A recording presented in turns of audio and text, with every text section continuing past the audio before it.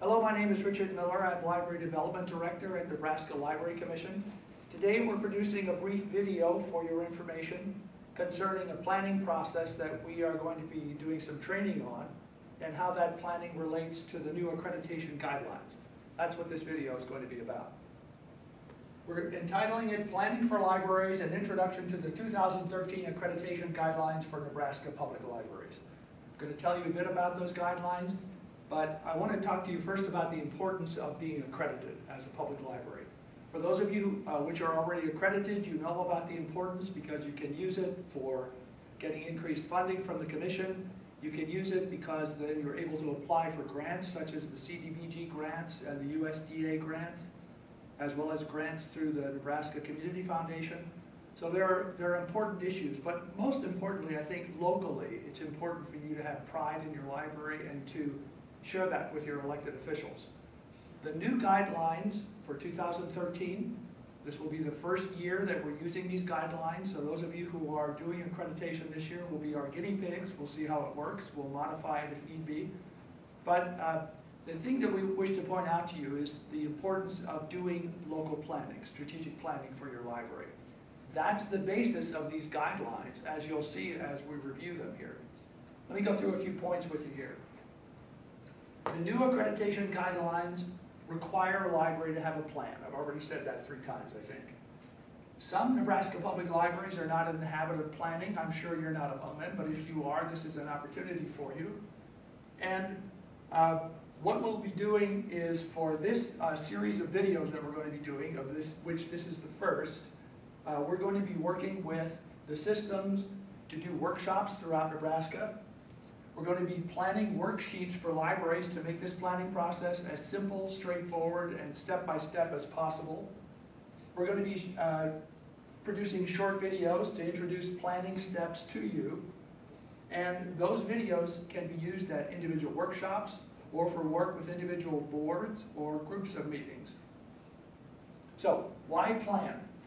Well, we ask ourselves this question all the time because planning is kind of a pain in the butt, but it is a necessary pain in the butt because if you don't plan, you don't know where you're going. So, what we're going to do is that the sections that we're going to do for the for the videos and for the planning workshops that we're going to be doing will cover the following areas, and I put them down in shorthand here. Why plan? A plan to plan. Before you do the planning, you have to set out a plan as to how you're going to do it.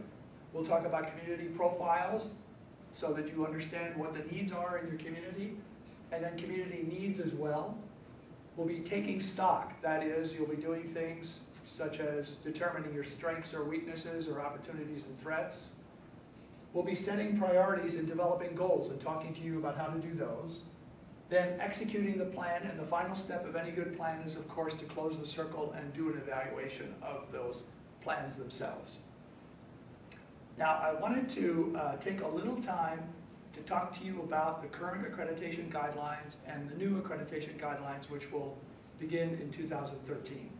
Since 2011, some of us on the staff here, including Laura Johnson and uh, John Felton and myself, have labored over this with a group of people from throughout the state, and I've listed the members of the accreditation committee here. Uh, Joan Burney and Stan Schultz were the co-chairs. Francine Canfield, Kendra Kasky, Robin Clark, Brenda Ely, Amy Greedland, Pat Leach, and I've already mentioned John, Laura, and myself. The guidelines themselves are really quite different from the current accreditation guidelines. For those of you who have been through the accreditation process, you know that there are three levels of accreditation, essential, enhanced, and excellent. And we have modified that quite a bit. When you see the guidelines themselves, which will be up on our website as soon as they are approved by our, uh, by our commissioners in, at their May meeting, we hope, you'll see that they are quite a bit different from the current guidelines. Here are some of the uh, features of the new guidelines. There are 12 minimum qualifications before a library can even apply for accreditation. Now we did this because we had kind of a mixture of things in the old guidelines or the current guidelines that really were sort of prescriptive, sort of every library should have them, et cetera, et cetera. So now we've tried to pull these out at the very beginning. They include things such as your library should be legally established or must be legally established under state statute. It has to comply with Nebraska library laws, rules, and regulations. It has to have a governing or administrative board or an advisory board that is in fact certified by the Nebraska Library Commission. The library director has to be certified at the level which is required by the certification, uh, by the accreditation guidelines, and so forth and so on. So there are 12 of those which you will see when you actually see the guidelines. A strategic plan is required, which you've now heard probably four times. There are three levels of accreditation, not the old ones, but they're bronze, silver, and gold, which we think would be more understandable and easier to remember than the old ones, which all began with the letter E. We're going to fill in as much as possible statistics from those that you submit, which is also one of the requirements, from those that you submit to us annually so that some of these things will be automatically filled in, so you don't have to go back and say, what was that? What, what was it that I said on that, on that uh, statistical reporting form? And a really interesting feature of the current guidelines is we're going to try as much as we can to have peer groups of libraries. Right now, you know that the current guidelines have population groups, 0 to 500, 501 to whatever. And those are somewhat arbitrary population groups that we're currently uh, using. So what we're going to do, or what we're planning to do, is to try to get uh, 10 libraries on either side of your library in terms of your local population that you serve, uh, to see what their statistics are. And you will be compared against your peer group as opposed to compared against all the libraries within those arbitrarily decided population groups. We're still working on tweaking that, but we hope to have that finished by the time the, the guidelines are used. We also have a lot of links and notes that are going to be in these guidelines that will explain, further explain things. You know, for those of you who've done this over the last several years, we have had some notes at the beginning of the accreditation guidelines, but these will be embedded within the guidelines themselves so that there'll be an electronic link which will explain a definition or which will uh, link you to more information such as the state statutes that relate to public libraries, Chapter 51, for example. Now, we'll also have a point system, which we haven't used before. This is an interesting sort of development that we have. Um, under the current guidelines, you have to meet all the essential guidelines before you can move on to the enhanced level. Then you have to meet all the essential and all the enhanced guidelines before you can move on to the excellent level. We're doing things differently this time. We're actually having a point system. There will be a total of 275 points um, in these guidelines themselves. And I've laid out here on this sheet the five sections of the guidelines which we have. There's governance and planning, which has a total of 50 points. Resources, which has a total of 111 points. Uh, services, a total of 40 points. Cooperation and collaboration, a total of 32 points. And communications for a total of 42 points for 275 points. I'm going to go back in just a minute to tell you about some of the uh, guidelines that are in each of those sections, but right now I want to stick to the point system here. So what we've determined that is that for the three levels of service, to be accredited at the bronze level, requires 175 points, at the silver level 200 points, and at the gold level 250 points. That's what we've come up with for this year. We're going to see how it works. And let me tell you just a little bit about what's in those sections of the guidelines themselves. Under governance, we have things such as uh, reviews the strategic plan annually that the library is to have. Uh, the library has board policies that um, are necessary for the successful functioning of the library, and the more policies you have, the more points you get. That's one of those where you actually can earn additional points. Um, has a technology plan, reviews the technology plan annually, and so forth and so on. Now, those are just some of the ones under governance and planning. What's interesting about these guidelines is that every one of those guidelines that are listed has after it uh, a section that says library goal or goals. So you have to identify which of your library goal or goals applies to that particular accreditation guideline. That's why, back to the initial idea, if you don't have a plan with goals, measurable goals and so forth, then you can't indicate there uh, what that applies to. So that's, again, why it is essential for you to have that plan. Under resources, the second section, there are things such as local income, facilities, how many hours are you open, uh, staff, expenditures on staff equal to or greater than the average or median of your peer group that I talked about earlier.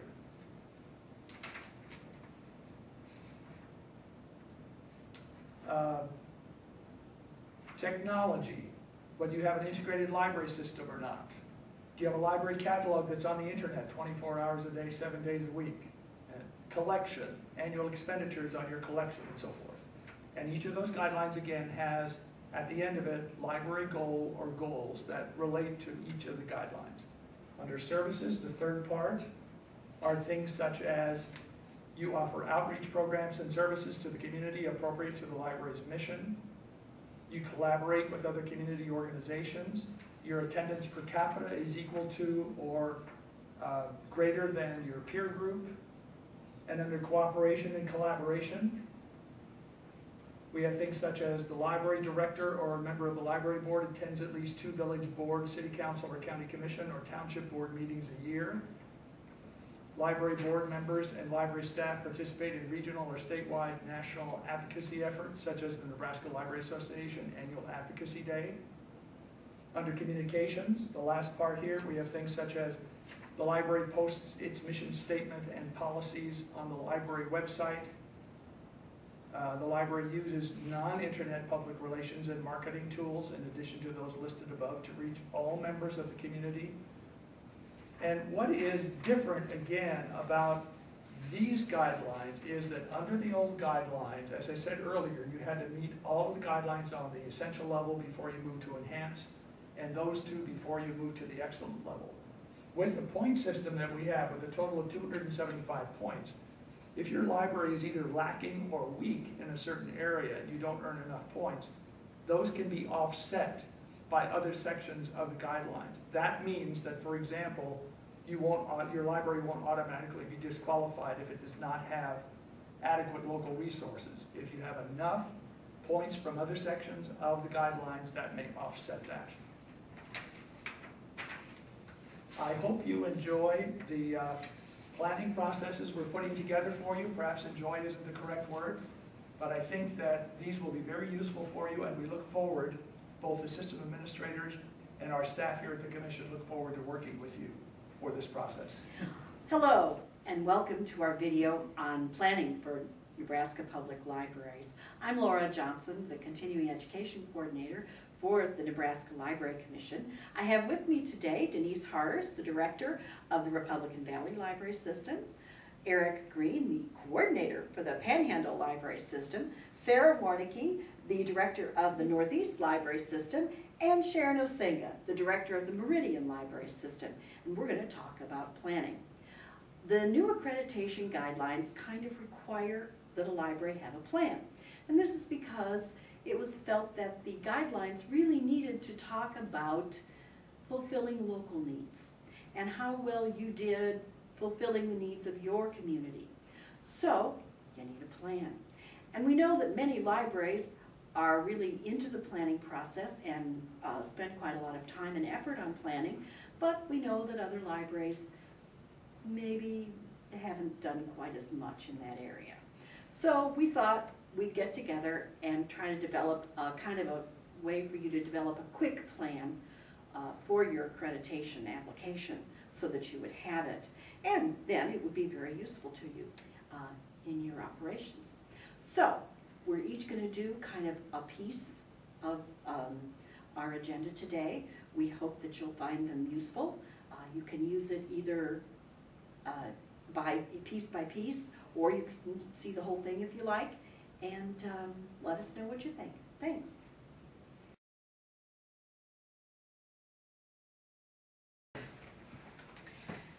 This first section is on why plan. One of the questions I've been asked over the years is, why does my library need a plan? We seem to be doing pretty good the way we're going. But I'm going to answer that question with a question of my own. How do you know where your library is headed if you don't have a plan? As far as I can tell, you're just going with no discernible direction. You don't know if what you're doing is working or not, or if it's even what your people in your community want. So here are some reasons why I think you need a plan. Number one, Planning allows you to find out what your community wants from the library in the way of services and programs. This may not be what you think they want, so you really need to find out from them what it is they actually want. Once you know what your community wants, you can better allocate your resources to providing those things and cutting out what they don't want. This is called cutting out all of those dead things that maybe nobody wants anymore. Do you still have a record collection? Is anybody using them? Those are the kinds of things you might want to cut out. It will also help you prepare for changes coming in the future. And we know we're in a rapidly changing society, especially in terms of technology. So you need to make those changes and plan for those. Um, this is going to force you to establish priorities, and this is a hard one. We all want to do everything for everybody, and that's just not possible. So you're going to establish your priorities, priorities based on what your community has asked for. That means you're going to probably cut out some things that you're doing right now. If you need increased funding, a plan will help you get to your funding authority and show the need. You can say, well, this is what the community wants. This is the amount of money we're going to need to do that. And uh, so it really helps when you go in and you can really support your request for increased funding. You're also going to get insight from other people's perspectives. And somebody's going to talk about who's going to be on your planning committee. But this is going to be a group of people that many of them are people you probably don't work with. They may be non-library people. So they're going to bring a different perspective than yours, and that's going to help in getting some freshness into where your library's plan is going. Uh, you're going to discover new ways of thinking about old problems, and you're probably going to do something like the SWOT analysis. Look at your strengths, your weaknesses, your opportunities, and your threats. That's going to help you, again, figure out where you're going with your plan. You may also find alternatives beyond the resources that your library has traditionally used. This means there are a lot of agencies and online sources out there that we didn't used to have that we have now. And those are going to be available. So maybe some things you've been doing you don't need to do anymore because somebody else can do it better than you. Um, a plan is also going to provide more seamless transitions during staffing changes. And for me personally, this is something I deal with quite a bit in my job. I have seen numerous times where a library director leaves, a new person comes in without a plan. They have no idea what the library's been doing or where it's going. It's really important that you have something on paper to show them what your goals and objectives are. So that's one that I really personally have a strong feeling about. And finally, you're going to be forced to make choices. I've said before, you can't do it all. And the planning process team is going to have to narrow down choices and figure out what is manageable and doable with the money that you have. And that's it for my part. Somebody else is going to actually start the actual planning process. It's time to determine the composition of your planning team. Most community-based planning committees include one or two staff people and a board member as formal participants. If possible, staff other than the library director should be appointed. If the library director is on the committee, community members will naturally look to them for ideas and answers. And it's important that this be about the community and what they want and need. Invite community stakeholders to be a part of your planning team. Who can influence the elected officials? Who's the, who are the leaders of the different civic groups in your area? Look for planning team members with special skills, such as knowledge of technology, city planning, law, fundraising, marketing, literacy, and local government. Include representatives of the demographic and socioeconomic groups on the planning team. Identify young people, seniors, parents, business leaders, and people from various ethnic groups as potential committee members. Invite 5 to 12 individuals to serve on your planning team, and it's important to make it official. Send them a letter and ask for a signed agreement in return. To be successful, planning team members must be able to reach agreement on issues under consideration. There are three general approaches to reaching agreement in groups. First, there's consensus building, or voting, or the forced choice option. By far, consensus building is the best approach for making important decisions. Consensus promotes hard thinking that really gets at the issues. To build consensus, you need to separate people from the problem. Discussions can shift from issues to personalities. Keep the discussion firmly focused on the topic under review. Focus on interests, not positions. Positions are those preconceived opinions of the group members. Keep the group focused on the best interest of the library. Generate a variety of options before deciding what to do. Since there's no one right way to do things, identify and discuss a variety of ideas to accomplish the designated goals. Base decisions on objective criteria. Define the criteria that will be used to evaluate the options and ideas. Otherwise, emotion may dictate the decision.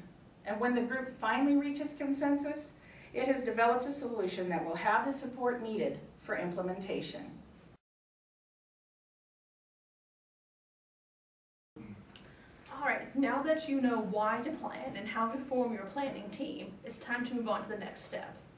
As silly as it's going to sound, you will need to plan to plan. Planning to plan is the key to success for working with these new guidelines. There's a lot of information to cover, and you don't want to fall behind. Make sure to accommodate for and take the time to do it right. You don't want to find that something doesn't work and have to redo it later. Start planning, mm, let's say, several weeks before you start working on your actual plan. It will be far better to overestimate how long it will take you to complete everything than to have to rush through something at the end. Do whatever will be best for your staff, your library, and your community.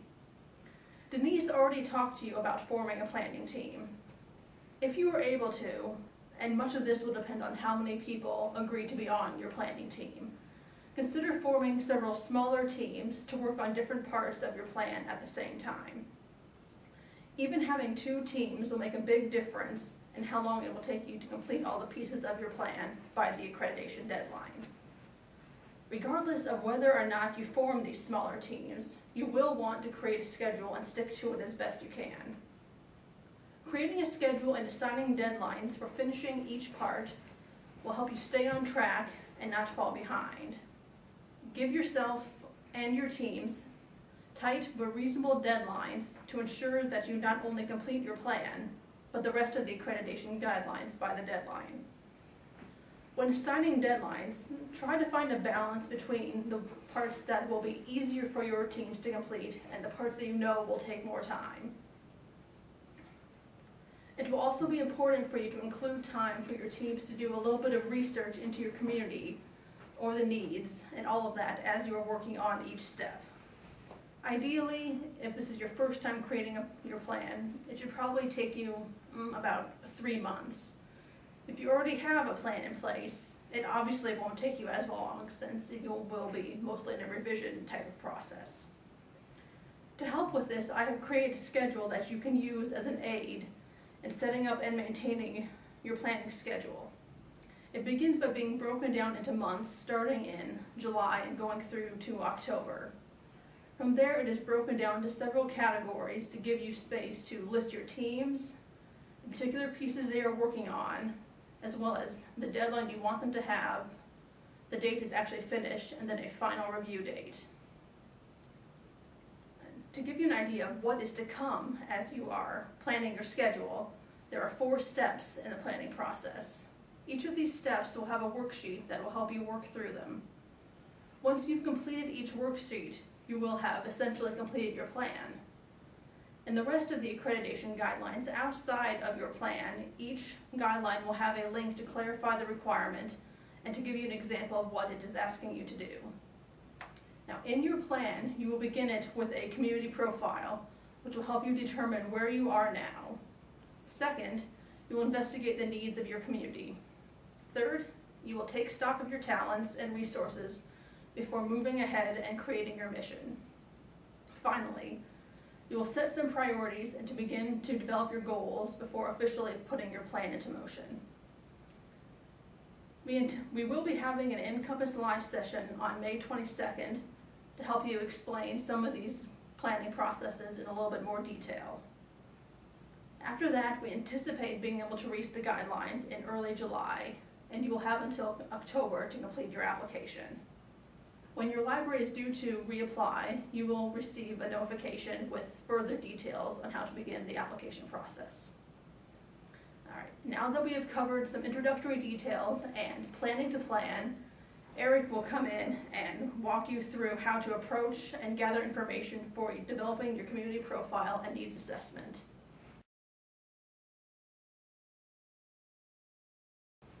Um, hello, I'm going to be talking to you about the community profile and also the community needs assessment. Um, so what is a community profile? A community profile is a summary of the history, present conditions, anticipated future of an area. Uh, it provides an overview of or a series of a snapshot of an area that is used for the basis of identifying potential impacts of proposed library services. Um, how uh, to, to profile a community. You define the community boundaries and neighborhood boundaries, uh, locate the businesses, residents, and activity centers of, of potential impact, uh, determine demographic uh, characteristics, economic base, uh, location of community facilities, and other characteristics. Um, and some of those community characteristics examples are population and de demographic characteristics, economic and social, uh, social history characteristics, uh, physical characteristics related to community activities. Um, the projected uh, identification of this project, what is the role of the community impact analysis in defining the project? Also the study area, what is the scope of the geographical area to be examined? Also public involvement, which I'll be dealing with in the second part, uh, with the survey and our focus, focus group uh, covering the, the, needs assessment. Um, one of the questions you're going to be asking is, uh, how do I gather the information, especially if my uh, community uh, city does not, uh, office does not have some of this information. And in the worksheet, I will include um, some contacts for you to find basic statistics for your, for your analysis. And I want to talk about just the uh, community profile work, uh, worksheet, just some of the issues with it. Now, um, you can use as many of these as you want, or you, you, can add your own. And so I'm just going to give you some examples of, of what this is and what, what I'm asking here. Uh, the geography or physical characteristics of community. The first question is what is the area size of the community of your library service? And that's just an example of the first one. The second area is population characteristics of the community. It's like what is the total population of your area?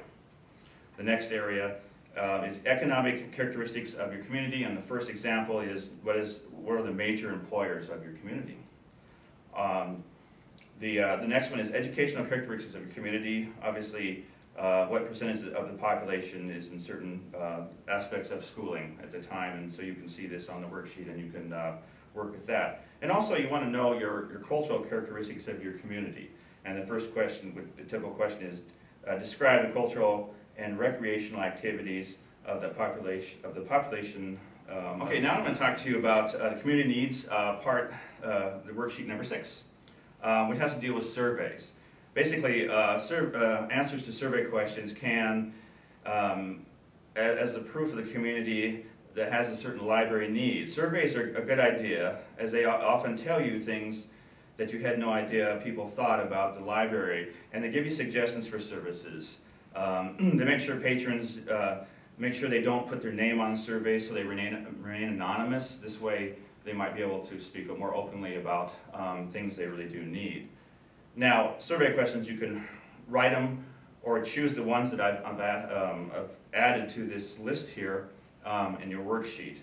And basically, they're basic. we have basic questions, um, we have service questions, and then the very um, last part, there's write-in questions, and please feel free to write in what you feel your community um, would need, because um, this is basically your area, and you're the expert in this area to know what this, this is.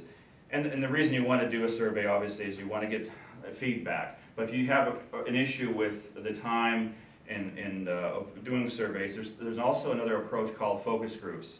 Now, focus groups um, basically are a small group, typically 8 to 12 people. Usually you want to make them a very diverse group in your community and basically have a moderator and you have focus on a certain topic. Um, the aim is to have a discussion of individual responses to formal questions uh, and to produce uh, preferences and beliefs that, that may or may not represent the general population.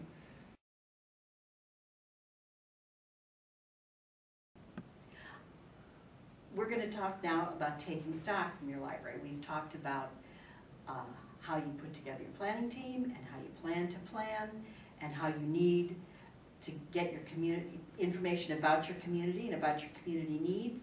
And now we need to talk about how you get information about your library.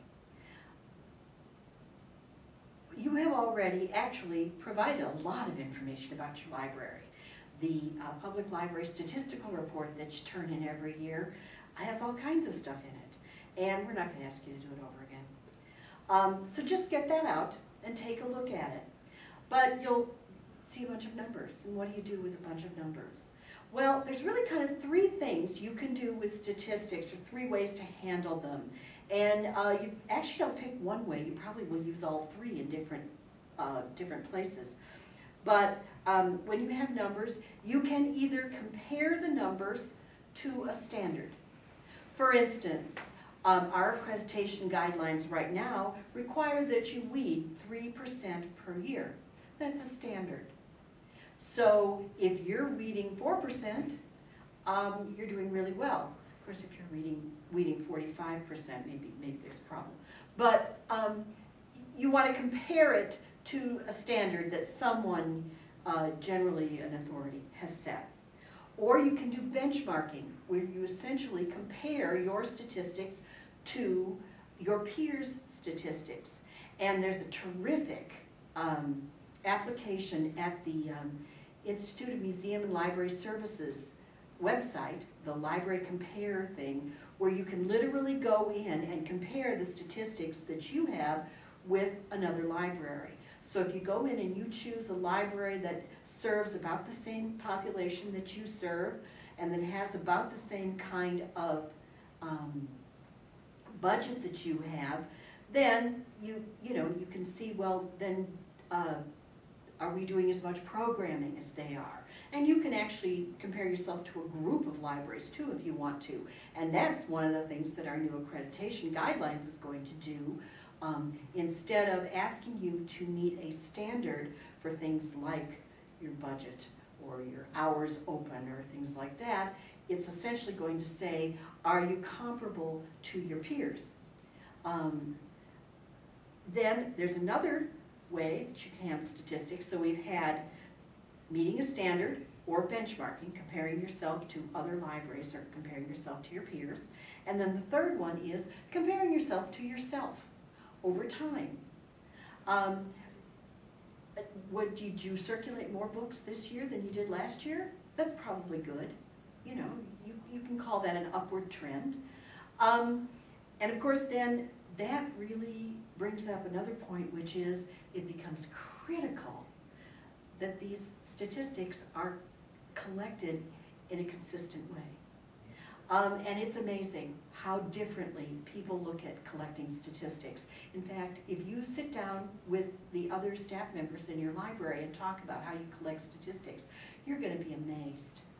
Um, is, where is the bathroom, a reference question? It may or may not be. Um, and actually, it doesn't matter what you choose. You can decide to do it however you want to do it. But everybody needs to do it the same way. And you need to do it the same way over time. Otherwise, you end up comparing apples and oranges.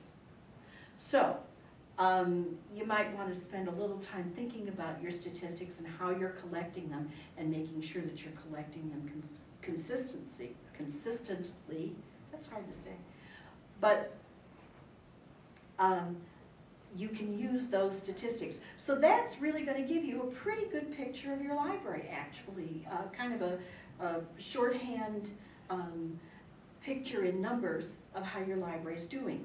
But then there's another thing that we can do to take a look at the library and, and what your strengths and weaknesses are, which curiously enough is called the strengths, weaknesses, opportunities, and threats, or SWOT, um, which is not a bunch of guys in black running around with guns. It's S-W-O-T.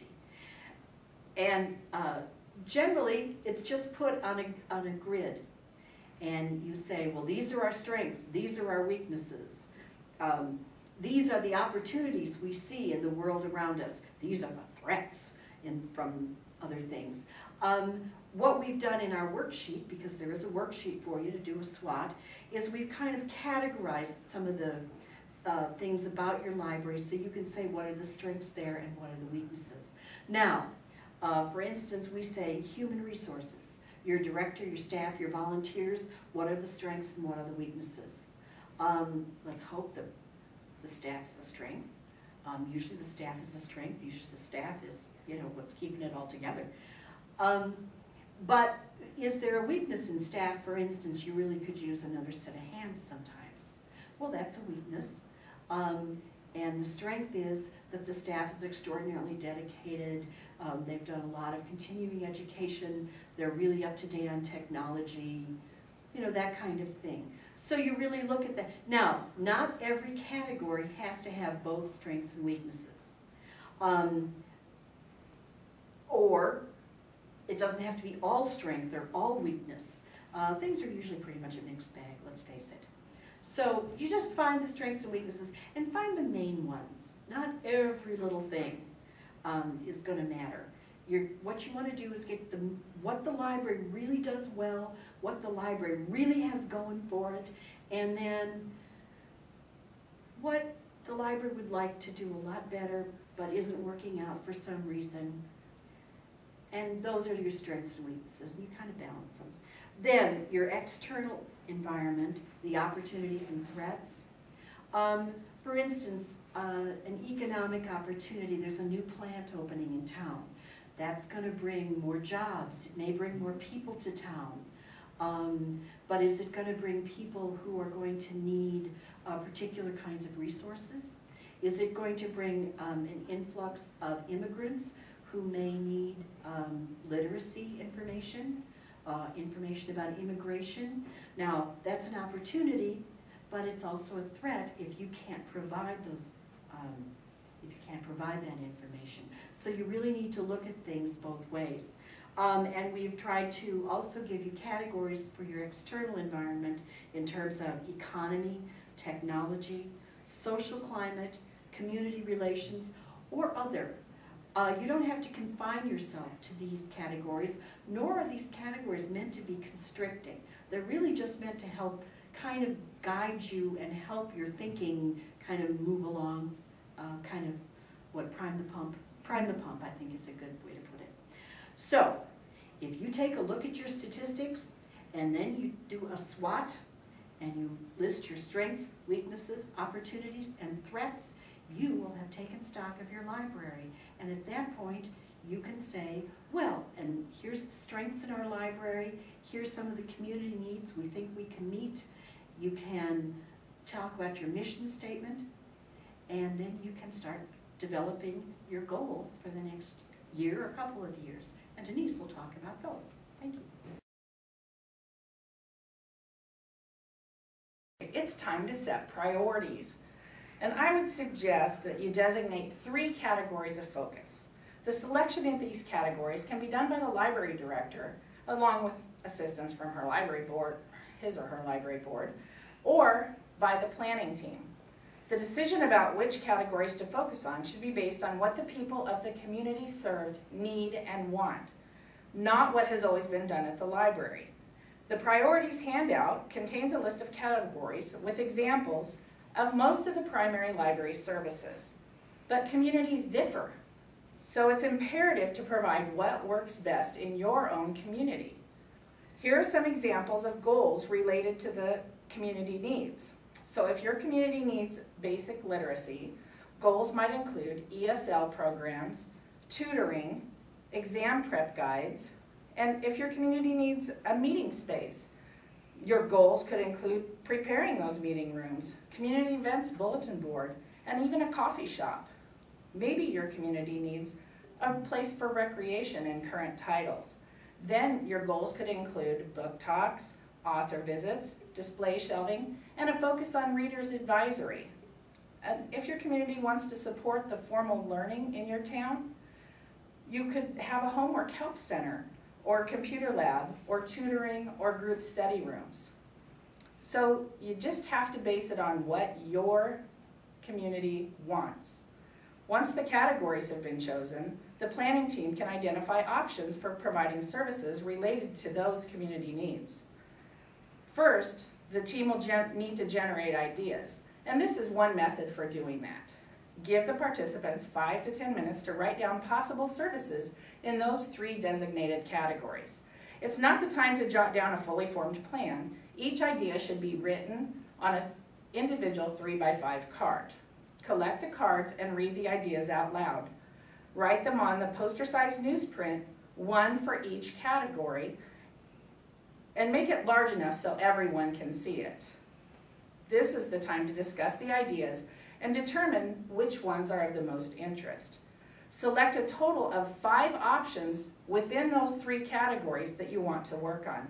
That keeps your plan small and workable. These five options will develop into the goals on your strategic plan.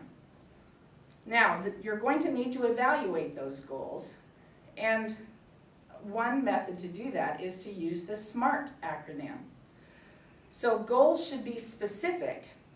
To set a specific goal, you must answer the six W questions. Who is involved? What do we want to accomplish? Where will this be done? When will it be finished? Which requirements and constraints need to be considered? And why are we doing this? The goals must be measurable, there's the M. Establish concrete con- criteria to measure the progress. Goals must be attainable. That's A, attainable. Identify the goals that are the most important to the group and figure out ways to make them happen. If, if it's something you want to do, you'll figure it out. Goals must be realistic. Ask the group if this is a goal that everyone is willing and able to work towards reaching. A high goal can be reached if it is something that the whole group values. And goals must be timely, and I think this is one of the biggest parts of this discussion. T for timely. If there is no time frame, there's no sense of urgency or no motivation to begin working on it. So you need to set a deadline. After the goals have been developed and determined, it's time to write those objectives. Objectives are the steps taken to reach each goal. Every objective has the same three elements. A measure, a standard so you can compare your measure to that, and a time frame. You need a date, and it, your standard must be met. The handout for developing goals and objectives has a well-written objective example for you. Now you'll need to ask your planning team to write two objectives for each of the five identified goals.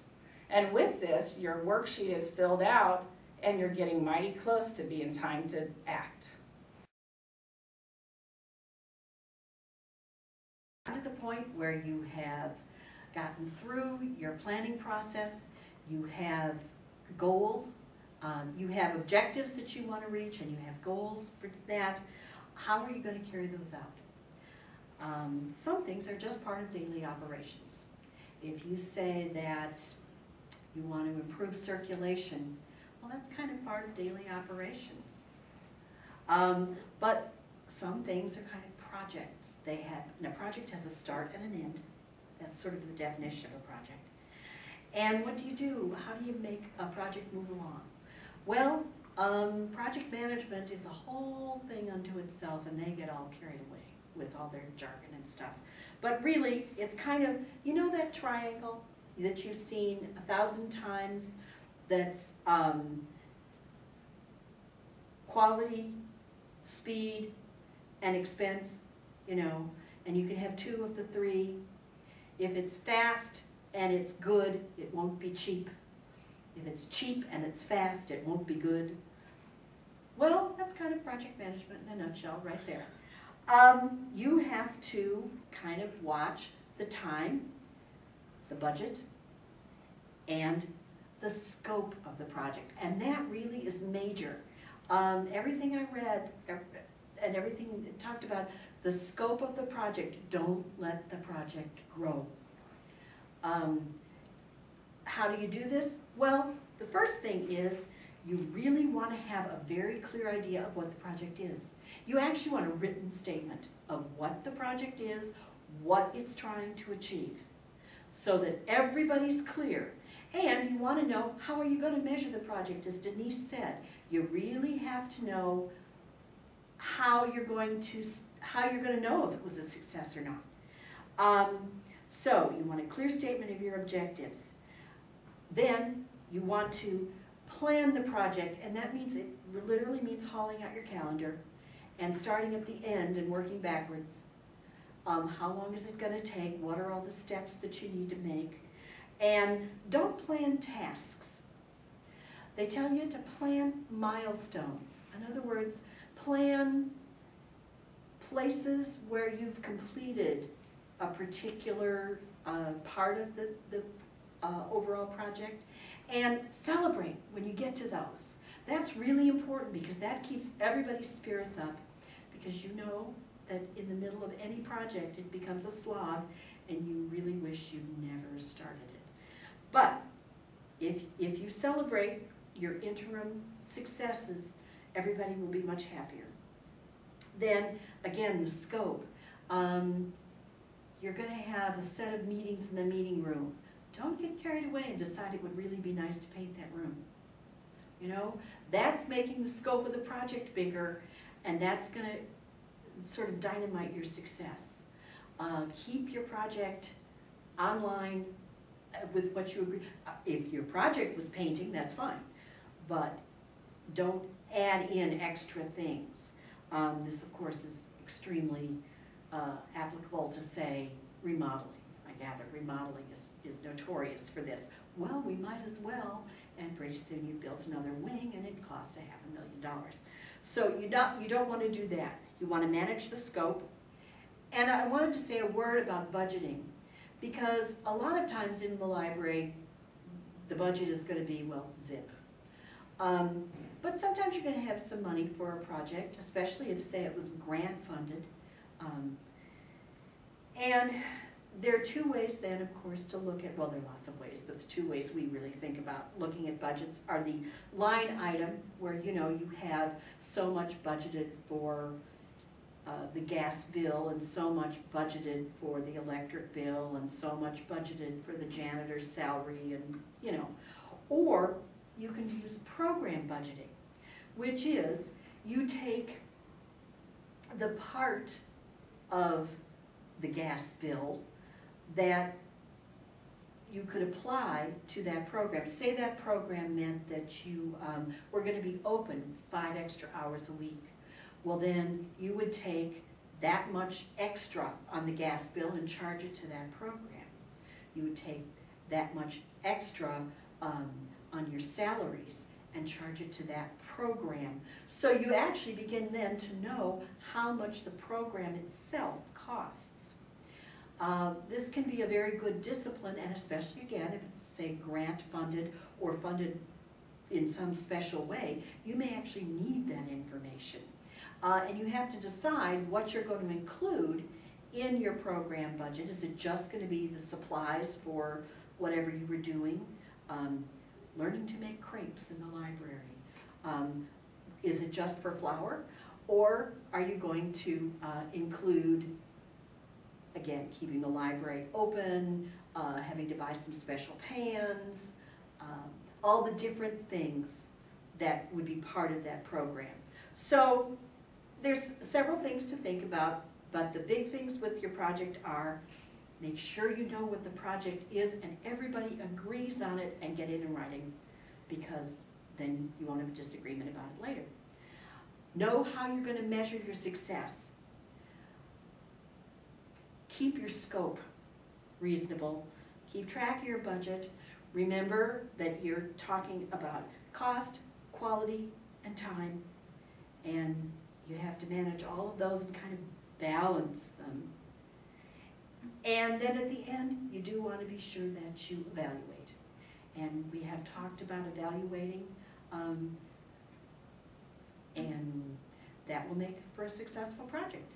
And we hope for a great plan that you've really uh, fulfilled.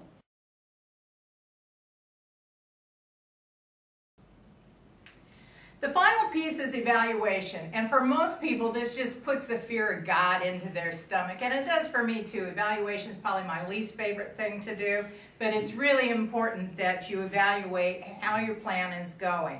The overall goal of planning and evaluating your plan is to determine if what you've created in your plan has value for your customers. In other words, what real difference did it make to them?